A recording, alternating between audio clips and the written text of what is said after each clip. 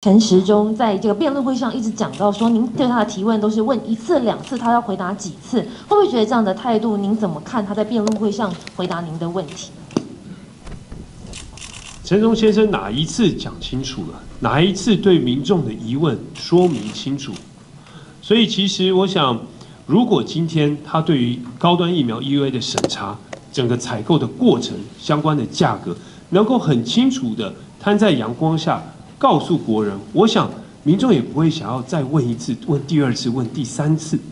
而且我想这个部分就是站在人民的立场，希望代替人民追求真相。我想民众有知的权利，所以我们才希望能够借由今天辩论会的场合，陈忠先生可以清楚向国人交代。但很可惜，他没有。我很想请教，因为刚刚在陈陈忠在辩论的时候提到说新竹换台北，你好像没有正面回应哦。那当初这是由赵少康提出的，会这样提是因为选情紧张吗？那你怎么看陈时中说赵少康就是你的侧翼？希望陈忠先生哦，他不要在台北想着新竹哦。